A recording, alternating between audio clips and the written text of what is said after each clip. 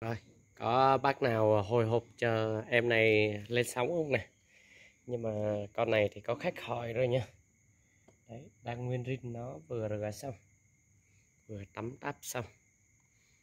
Đấy, hàng đẳng cấp nha. Hàng này phíp lắm. Ốc này. Đấy. Mai chờ khách ra coi đây. Đấy. Thôi em khỏi cho coi con gì luôn nha Để mọi người hồi hộp nha. Chỉ biết là nó mới gheo Mai là có khách ra coi đấy. Ginoat Komatsu Bô này. À, Nhìn vẻ đẹp huyền thoại. Ốc còn bảy màu. Đẹp tuyệt đối luôn. Mỗi chỗ, chỗ đây trà rồi nó không ra nổi. Còn nó mới căng xe beng luôn. Ốc này Rất là đẹp thì giờ cũng à, gần 10 giờ rồi. Thì à, em làm à, một video này. Thì ngày mai mà nếu như bác nó không chốt là em chốt cho mọi người khác. Rồi, ok.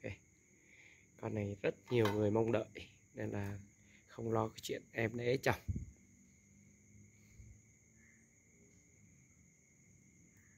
Thường những con này bên em mà khách họ đặt trước hết, thì chắc chắn là sẽ không có nữa.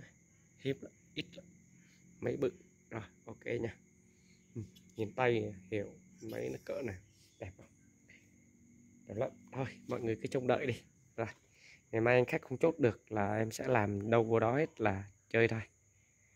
Bây giờ em làm luôn á cho nó xong. Ngày mai là bắt đầu làm tới luôn là xong.